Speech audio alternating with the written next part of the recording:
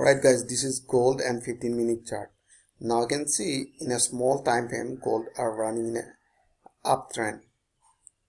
So according to the price action method, they are creating lower low. So now you can see here lower low, lower high and they are trying to create a lower low. But right now we can see price are near this supporting line.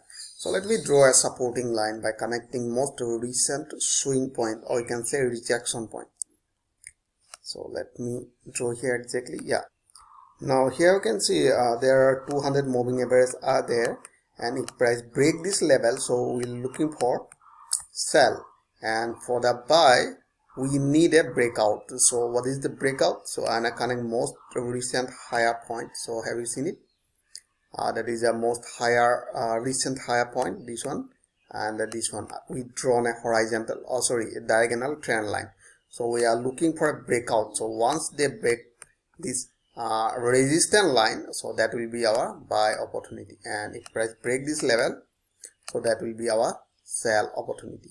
So i hope you enjoyed this video. If you like this video please like and subscribe. Thanks for watching